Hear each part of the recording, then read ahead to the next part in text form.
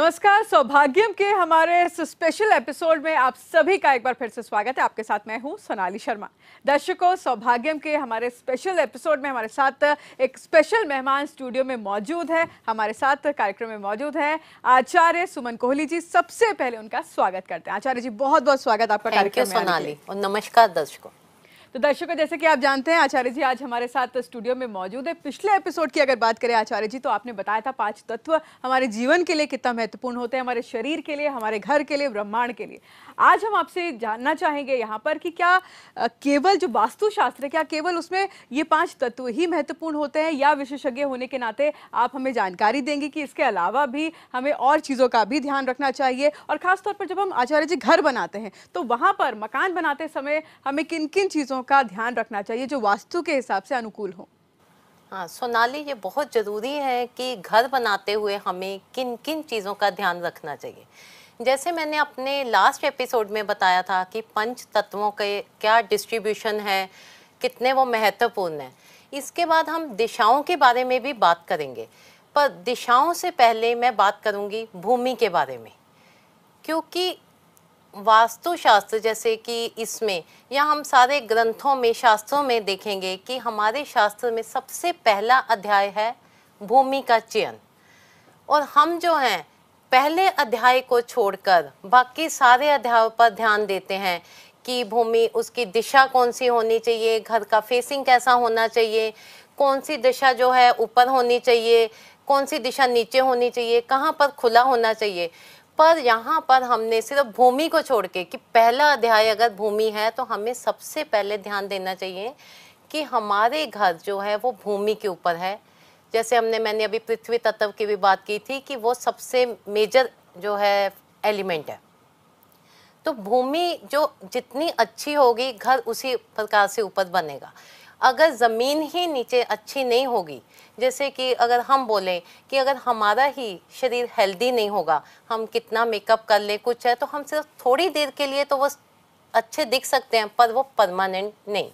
ठीक इसी तरह, जैसे कि हमारे घर में अगर अच्छी, ज़मीन अच्छी है तो उसके ऊपर जब हम स्ट्रक्चर बनाते हैं, जब हम पूरा घर सही से बनाते हैं तो वहाँ पर रहने वाले लोग जो हैं, उनको सुख समृद्धि प्रोस्पेरिटी सब कुछ अच्छे से जो है उन्हें मिलता है। जैसे मैंने अपने इससे आई थिंक एक दो पहले एपिसोड में बताया था कि अगर हमने दो एक जैसे घर बनाए हैं वास्तु के लिए, वास्तु के हिसाब से दोनों एक ही जैसे घर बनाए हैं, एक हेल्दी भूमि पर है और एक शमशान घाट पर है तो यहाँ पर क्या उन दोनों की एनर्जी सेम होगी? नहीं। क्योंकि यहाँ पर फिर इसका मतलब है कि वास्तु से पहले तो भूमि काम करती है, क्योंकि एक हेल्दी भूमि पर है, जो शमशान घाट पर है, वहाँ पर जो भूमि अच्छी नहीं है, उसकी एनर्जीज अच्छी नहीं है तो इसलिए वहाँ जितना भी अच्छा हम वास्तु कर लें, पर वहाँ पर रहने वाले लोगों को कभी भी सुख, समृद्धि, मन का चैन या बिज़नेस में या घर के रिलेशन में किसी भी चीज़ में उनको वो सब नहीं मिलेगा, जो कि एक हेल्दी भूमि है जहाँ पर, उनको ये सब चीज़ें मिलेंगी। यहाँ मैं बात करना चाहूँगी कि जैसे पहले ज़माने में किसी को घर बनाना होता था, उस समय बहुत ज़्यादा ज़मीन होती थी, जो कि आजकल अवेलेबल नहीं है। वहाँ पर वो क्या करते थे, गाय और बछड़े को छोड़ देते थे। गाय और बछड़ा जहाँ पर जाकर बैठते थे वो वहाँ पर उस भूमि को उचित भूमि मानते थे। क्यों? क्योंकि गाय जो है, वो बहुत ही पॉजिटिव है सेंसिटिव है। वो उस जगह को पता कर लेती है सेंस कर लेती है कि यहाँ पर पॉजिटिविटी है। वो वहीं पर ही बैठती है। पर आजकल ना तो गाय पॉसिबल है और ना ही इतनी बड़ी ज़मीन पॉसिबल है। क्योंकि आजकल जैसे घर हैं, इस हिसाब से हो गए हैं कि फ्लैट सिस्टम है या ऐसे है तो उसके लिए फिर काफ़ी सारे इंस्ट्रूमेंट आ गए हैं, जैसे कि लेकरिन है यूटीएस स्कैनर है, इन सबसे हम ये चीज़ देख सकते हैं। पर गाय से जैसे कि हम देखते थे, इसका मतलब यही था कि उसकी सेंसिटिविटी के लिए वो भी उस समय इस चीज़ को उपयोग में लाते थे। बिल्कुल आचार्य जी तो यहाँ पर आपने गाय का ज़िक्र किया है। जानना चाहते हैं क्या गाय से जुड़ी और भी ऐसी कोई अहम चीज़ है जो आप हमारे दर्शकों को बताएँगे कि आखिर गाय इतनी सेंसिटिव क्यों मानी जाती है भूमि को लेकर? हाँ देखिए कि हमारे हिंदू धर्म में गाय को बहुत अच्छा मानते हैं। क्यों? क्योंकि इसमें तैतीस कोटि के देवता हैं।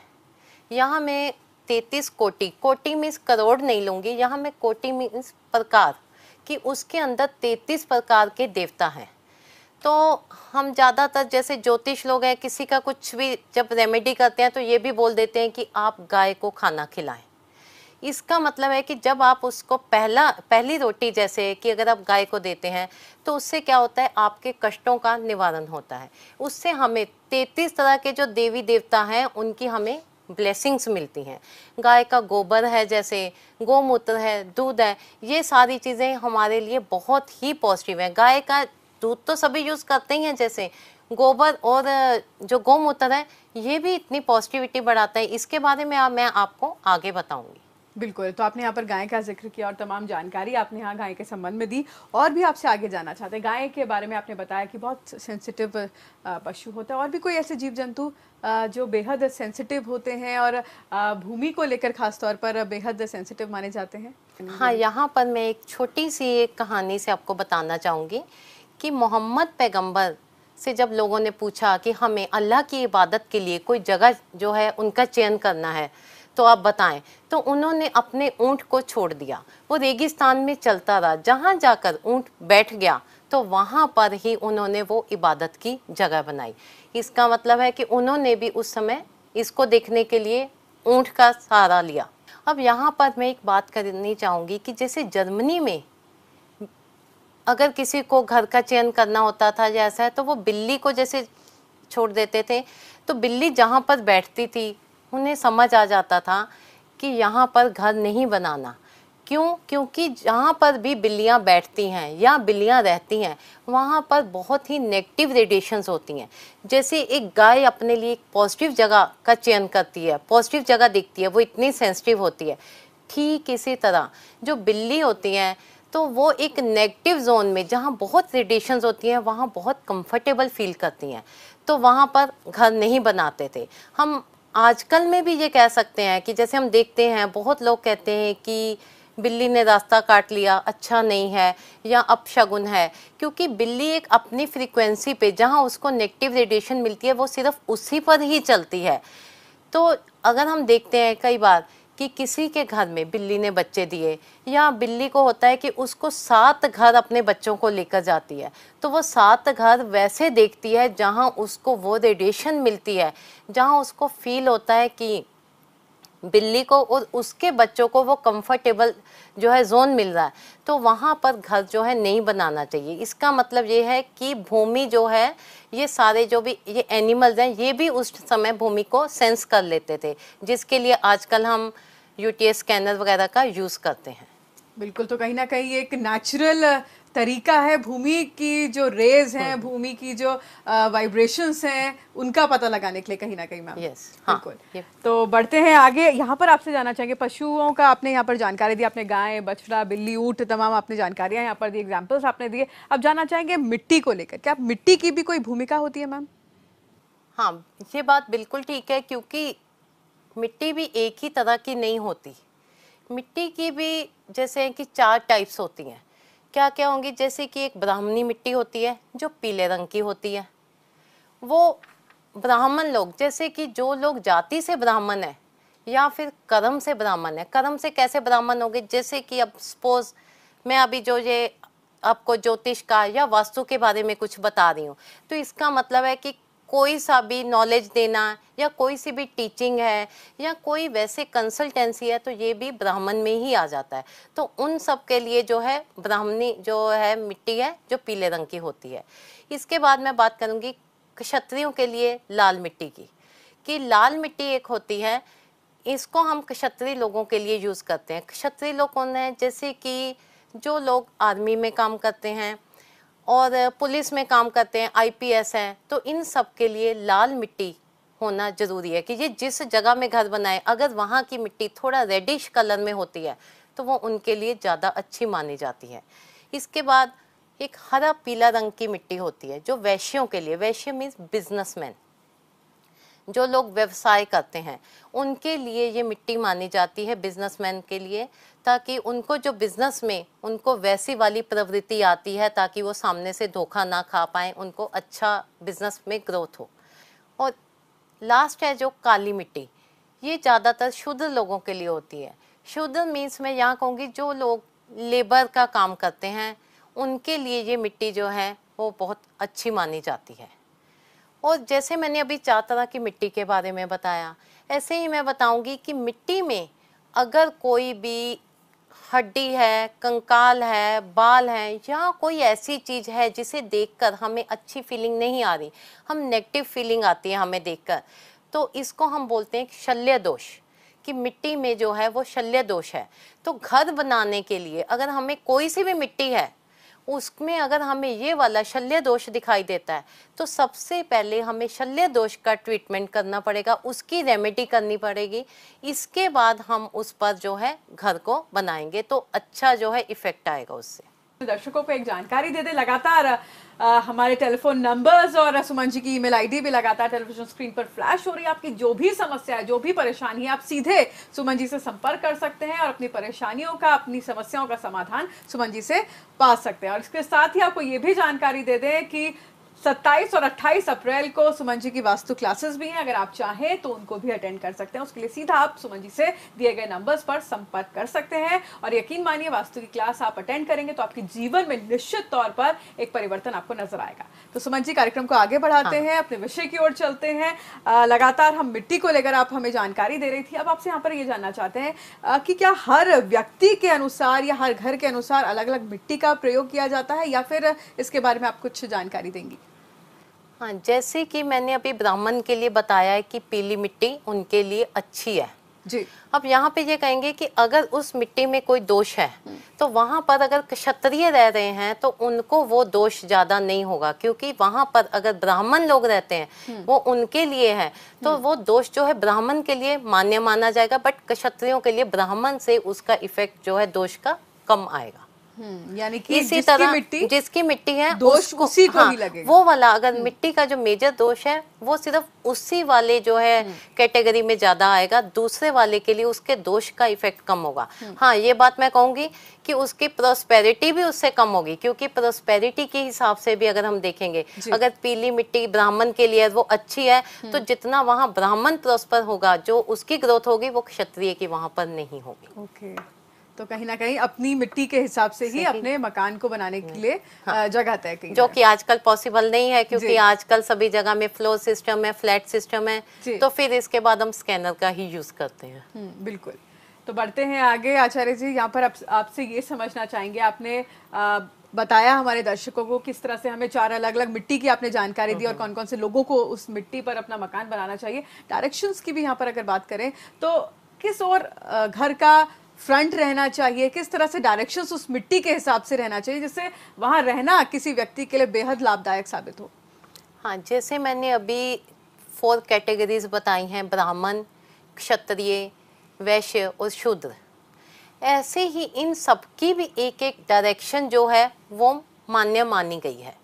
ऐसे कि जैसे कि ब्राह्मण लोगों के लिए, अभी मैंने जो बताया कि ब्राह्मण मीन्स चाहे तो वो जन्म से ब्राह्मण है चाहे वो अपने प्रोफेशन से, अपने कर्म से, जैसे जिसमें मैं सभी टीचिंग को भी ले लूँगी, जितने भी टीचर्स हैं या जितने भी कंसल्टेंसी करते हैं, कोई सा भी जो ऐसा काम है इन सबको, जहाँ पर वो कोई नॉलेज देना है, किसी भी तरह का तो इन सबको हम ब्राह्मण ही मानेंगे, क्योंकि वो बाय प्रोफेशन ब्राह्मण है। तो इन सब के लिए अगर नॉर्थ फेसिंग जो है घर होंगे, वो ज़्यादा अच्छे होंगे। ठीक इसी तरह सेकंड है जैसे कि क्षत्रिय। इनके लिए मैंने अभी बताया था कि क्षत्रिय लोग जो हैं इनमें हम बोलेंगे कि इनके लिए ईस्ट फेसिंग घर अच्छे होंगे।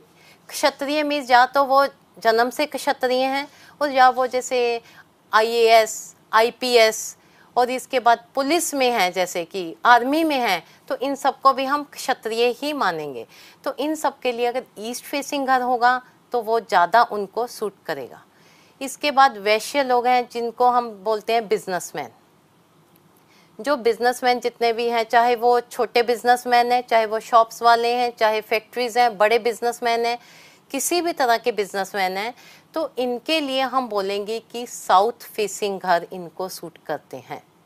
और इसके बाद जैसे शूद्र हैं, जिनका हमने बताया था कि लेबर क्लास हो जाती है, या जो लोग बहुत ही मेहनत से काम करते हैं उनका दिमाग से ज़्यादा उनको फ़िज़िकल लेबर करनी पड़ती है।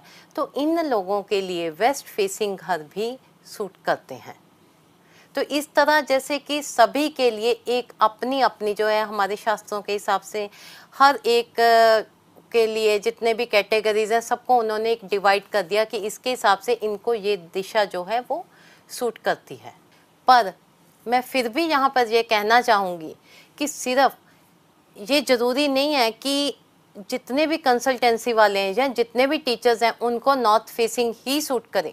क्योंकि हम जब देखते आए हैं कि उनके लिए अगर वो नाम राशि के हिसाब से या चंद्र राशि के हिसाब से फेसिंग देखते हैं तो वो उससे भी ज़्यादा जो है इफ़ेक्ट करती है। क्योंकि वास्तु ऐसे है कि जैसे अगर कुछ भी नहीं मालूम है तो आप ये वाला कर सकते हैं। और इसके आगे आगे एक्यूरेसी होती है कि वहाँ पे सिर्फ़ हमने कैटेगरीज को लिया। और अगर हम कैटेगरी से भी आगे जाएँ तो हम उनकी नाम राशि और चंदा राशि के हिसाब से हमारे ग्रंथों में बहुत अच्छा इसका विवरण भी दिया हुआ है।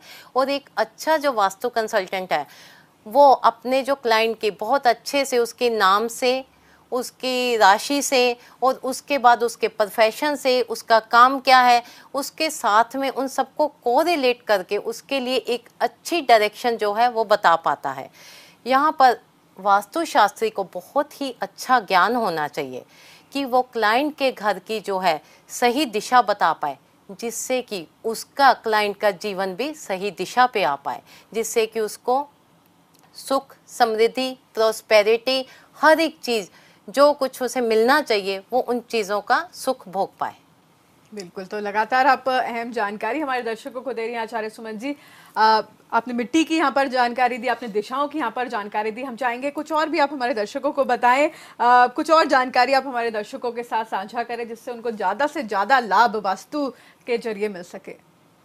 हाँ अभी मैं यहाँ पर एक और बात कहना चाहूँगी कि जैसे कई बार फ़ोन आता है हमारे क्लाइंट हैं हमें मैप भेज देते हैं। कि आप प्लीज़ ये मैप देख के बता दीजिए कि इसमें ये सब हमने वास्तु के हिसाब से बना लिया है या ये वास्तु के हिसाब से ये वाला हम घर लें या नहीं लें। यहाँ मैं ये कहना ज़रूरी समझूँगी कि सिर्फ़ एक अच्छे वास्तुशास्त्री को मैप देख के किसी को आगे के लिए, क्योंकि घर ज़िंदगी में एक बार बनता है और उसमें जो है बहुत अच्छे से हर एक चीज़ होनी चाहिए। बंदा सोचता है कि घर जो है अपनी सुख सुविधाओं के लिए बनाया गया है। तो सिर्फ़ एक मैप से ही वो घर को नहीं देख के बताए कि ये ठीक है या नहीं। कि अगर मैप में नॉर्थ ईस्ट उसका खाली है, साउथ ईस्ट में किचन है सपोज़ या साउथ वेस्ट उसका हैवी है, ब्रह्मस्थान खाली है तो आप यहाँ पर सिर्फ़ इतनी बात से ही ये नहीं कह पाएँगे कि यहाँ पर आप घर बना सकते हैं या बिल्कुल ठीक है। यहाँ पर उस जगह की सराउंडिंग्स जो उसके वातावरण है, जो उसके आसपास का वातावरण है, ये देखना बहुत ज़रूरी है। जैसे कि सपोज़ हम देखते हैं, किसी ने घर तो वास्तु के अकॉर्डिंग बहुत अच्छा बनाया पर जब हम उसके घर के बाहर देखते हैं कि नॉर्थ ईस्ट में उसके बहुत ऊँची बिल्डिंग है, या वहाँ पर एक गंदा नाला है, या कुछ ऐसी ऑब्स्ट्रक्शन है तो इसका मतलब उसको वहाँ से नॉर्थ ईस्ट की एनर्जी नहीं आएगी। और यहाँ हम यहाँ पर देखते हैं किसी के साउथ ईस्ट में जो है, पीछे एक नदी बह रही है। जैसे हमने अपनी केस स्टडी में एक देखा कि उनके घर का वास्तु बहुत ही अच्छा था। हर चीज़ थी, पर उनको वो चीज़ें नहीं मिल रही थी जो कि उनको वास्तु के हिसाब से मिलनी चाहिए। हमने जब उनके टेरेस पे जाके देखा तो साउथ ईस्ट में एक नदी बह रही है। तो यहाँ पर क्या हुआ कि सराउंडिंग्स जो साउथ ईस्ट जो है, अग्निकोण है, वहाँ पर एक पानी का होना, उसी से ही घर के वास्तु में इफ़ेक्ट आता है। इसलिए हमें ये चीज़ें देखनी बहुत ज़रूरी हैं कि किसी के घर में, घर का मैप बनाने के लिए या किसी को आप घर रिकमेंड कर रहे हैं कि ये जगह आपके लिए ठीक है, पहले आप वहाँ देखें कि उनका नॉर्थ ईस्ट भी खाली है, उनके साउथ ईस्ट में कहीं पानी की जगह तो नहीं उनके साउथ वेस्ट कहीं नीचा तो नहीं, वहाँ कुछ गड्ढा या कुछ ऐसी चीज़ तो नहीं, उनका नॉर्थ वेस्ट भी ओपन तो है। ये चीज़ें भी सारी जो है, उसके लिए उतनी ही ज़रूरी हैं जितना कि उसके घर का वास्तु ज़रूरी है। तो यहाँ पर मैं ये बात कहना चाहूँगी कि घर के लिए जैसे हमने फाइव एलिमेंट बताए, हमने घर की मिट्टी के बारे में बताया कि मिट्टी कैसी होनी चाहिए हेल्दी होनी चाहिए। और मिट्टी को हम स्कैनर से भी आगे चेक करके बता सकते हैं कि इसमें कैसे इसको अच्छा कर सकते हैं, अगर नहीं है तो? उसका ट्रीटमेंट से उसको कैसे ठीक किया जा सकता है? बाद उसके घर की सराउंडिंग्स जो उसके आसपास का वातावरण है, कैसे कैसे, कहाँ पर क्या है, वो देखना भी उतना ही ज़रूरी है। यहाँ पर जैसे मैंने उनकी सराउंडिंग्स के बारे में अभी बात किया कि कैसे होनी चाहिए। अब यहाँ एक और बात इसी में मैं ऐड करना चाहूँगी। कि जैसे किसी के घर का वास्तु बहुत अच्छा है, उनका नॉर्थ ईस्ट खुला हुआ है, या उन्होंने वहाँ पे पार्क है, बहुत अच्छा खुला जो है स्थान बनाया हुआ है, पर वो जो उनके राइट हैंड साइड में साथ वालों का वो नॉर्थ वेस्ट है, और वहाँ पर उनका एक टॉयलेट है। तो यहाँ पर क्या जो उस टॉयलेट की भी एक अपनी एनर्जी है तो वो टॉयलेट के, इनके बीच में एक दीवार है, जबकि एनर्जी कोई दीवार नहीं मानती है। तो यहाँ पर क्या होगा कि वो दीवार भी, वो जो उनका टॉयलेट का इफ़ेक्ट उनका नॉर्थ ईस्ट में भी आएगा। जैसे कि हम यहाँ पर ये भी कह सकते हैं कि हम, हमारा रूम जो है साउथ वेस्ट में है। बहुत अच्छा है, सब कुछ ठीक है, पर जहाँ हम सिर रख रहे हैं, उसके बिल्कुल साफ़ पीछे जो हमारे नेबर हैं, उनकी वहाँ पर टॉयलेट है तो वहाँ पर सोने वाला कभी भी ठीक से सो नहीं पाएगा, उसको जो है फाइनेंशियली भी और बाकी चीज़ों में भी उसको इफ़ेक्ट आएगा। क्यों? क्योंकि उसके बिल्कुल दीवार के पीछे में टॉयलेट है। तो इसलिए कभी भी सिर्फ़ एक घर का वास्तु के साथ साथ जो है, साथ के वास्तु का भी ध्यान में रखना बहुत ही ज़रूरी है। बिल्कुल आचार्य सुमन जी आप हमारे कार्यक्रम में आई और आपने वास्तु को लेकर और भी ज़्यादा जानकारी लगातार आप एपिसोड दर एपिसोड आप और भी अहम जानकारी हमें वास्तु से संबंधित हमें और हमारे दर्शकों को दे रही हैं। आप कार्यक्रम में आई आपका बहुत बहुत शुक्रिया। Thank you Sonali thank you तो दर्शक उम्मीद करते हैं ये भी एपिसोड आपको बेहद पसंद आया होगा। अगली बार फिर एक अलग विषय के साथ आप सभी के सामने हाजिर होंगे। तब तक के लिए इजाज़त दीजिए। नमस्कार।